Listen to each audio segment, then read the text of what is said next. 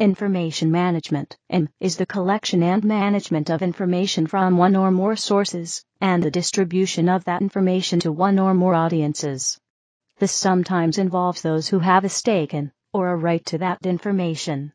Management means the organization of and control over the planning, structure, and organization, controlling, processing, evaluating, and reporting of information activities in order to meet client objectives and to enable corporate functions in the delivery of information.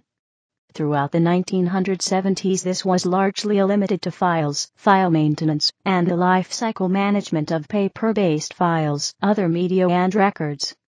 With the proliferation of information technology starting in the 1970s, the job of information management took on a new light, and also began to include the field of data maintenance. No longer was information management a simple job that could be performed by almost anyone. An understanding of the technology involved and the theory behind it became necessary. As information storage shifted to electronic means, this became more and more difficult. By the late 1990s, when information was regularly disseminated across computer networks and by other electronic means, network managers, in a sense, became information managers those individuals found themselves tasked with increasingly complex tasks, hardware, and software. With the latest tools available, information management has become a powerful resource and a large expense as well as risk for many organizations. Information management concepts.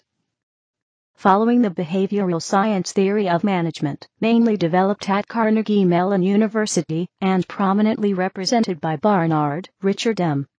Cyert, March, and Simon. Most of what goes on in service organizations is actually decision making and information processes. The crucial factor in the information and decision process analysis is thus individuals' limited ability to process information and to make decisions under these limitations. According to March and Simon, organizations have to be considered as cooperative systems with a high level of information processing, and a vast need for decision making at various levels. They also claim that there are factors that would prevent individuals from acting strictly rationally, in opposite to what has been proposed and advocated by classic theorists. Instead of using the model of the economic man, as advocated in classic theory, they propose the administrative man as an alternative based on their argumentation about the cognitive limits of rationality while the theories developed at Carnegie Mellon clearly filled some theoretical gaps in the discipline, March and Simon did not propose a certain organizational form that they considered especially feasible for coping with cognitive limitations and bounded rationality of decision makers. Through their own argumentation against normative decision making models, i.e., models that prescribe people how they ought to choose, they also abandoned the idea of an ideal organizational form. In addition to the factors mentioned by March and Simon, there are two other considerable aspects, which stem from environmental and organizational dynamics. Firstly, it is not possible to access, collect, and evaluate all environmental information being relevant for taking a certain decision at a reasonable price, i.e., time and effort. In other words, following a national economic framework, the transaction cost associated with the information process is too high. Secondly, established organizational rules and procedures can prevent the taking of the most appropriate decision, i.e., that a suboptimum solution is chosen in accordance to organizational rank structure or institutional rules, guidelines, and procedures, an issue that also has been brought forward as a major critique against the principles of bureaucratic organizations. According to the Carnegie Mellon School and its followers, information management, i.e., the organization's ability to process information, is at the core of organizational and managerial competencies. Consequently, strategies for organization design must be aiming at improved information processing capability, J. Galbraith has identified five main organization design strategies within two categories increased information processing capacity and reduced need for information processing. Reduction of information processing needs. Environmental management. Creation of Slack resources. Creation of self-contained tasks. Increasing the organizational information processing capacity. Creation of lateral relations. Investment in vertical information systems. Information management complexities. Organizations are often confronted with many information management challenges and issues. In the past decade, the progression of electronic information over the old paper filing system has been preferred. Lack of experience and knowledge of proper information management, a business could end up going out of business. The challenging issue is pre-existing information businesses not wanting to change their old ways. As a result, the following challenges can concur. Lack of resources for organizing, managing, or improving information systems. Lack of definitions for information types and values enterprise-wise. Little to no appreciation and support of information management by senior management. Internal business politics affecting on the ability to organize activities enterprise-wide. Poor quality of information, such as lack of consistency, repetition, and out-of-date information. Old systems are obsolete requiring replacement or upgrading. Large quantity of dispersed information management systems. Lack of synchronization between information systems. Competition between information management systems. Lack of strategic path on the management of information systems. Lack of clarity of organizational strategies and goals. Various number of diverse business issues and needs that have not been addressed limited staff to run existing information systems, hitches in shifting old working practices and processes of staff.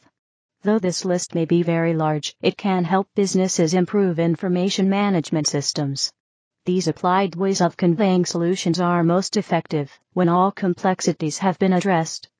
Reduction of information processing needs. Environmental management. Administrative functions that develop, implement, and monitor the environmental policy of an organization.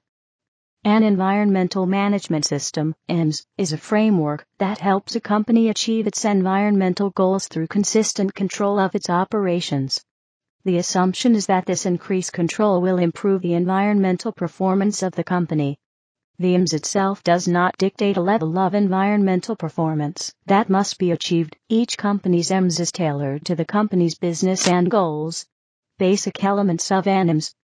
Reviewing the company's environmental goals, analyzing its environmental impacts, and legal requirements, setting environmental objectives and targets to reduce environmental impacts, and comply with legal requirements, establishing programs to meet these objectives and targets, monitoring and measuring progress in achieving the objectives, and ensuring employees' environmental awareness and competence, reviewing progress of the EMS, and making improvements. Instead of adapting to changing environmental circumstances, the organization can seek to modify its environment. Vertical and horizontal collaboration, i.e., cooperation or integration with other organizations in the industry value system are typical means of reducing uncertainty.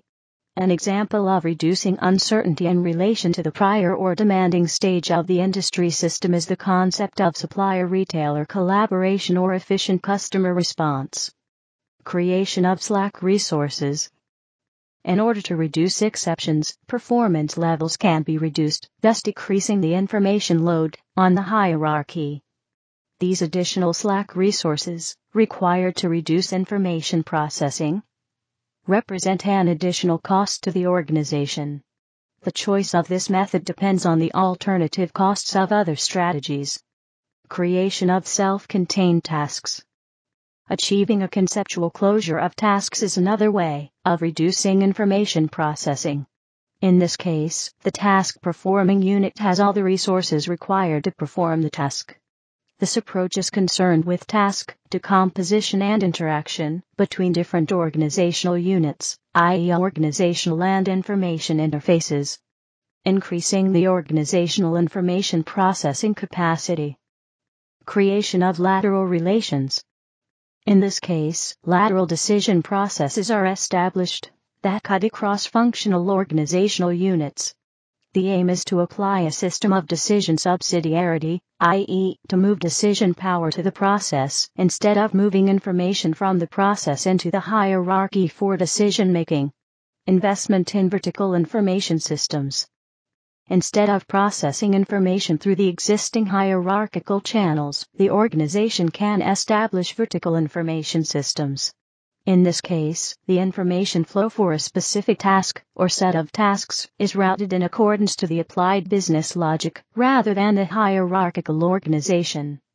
Following the lateral relations concept, it also becomes possible to employ an organizational form that is different from the simple hierarchical information.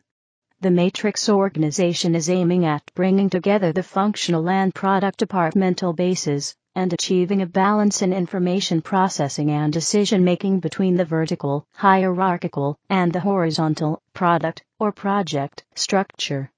The creation of a matrix organization can also be considered as management's response to a persistent or permanent demand for adaptation to environmental dynamics instead of the response to episodic demands.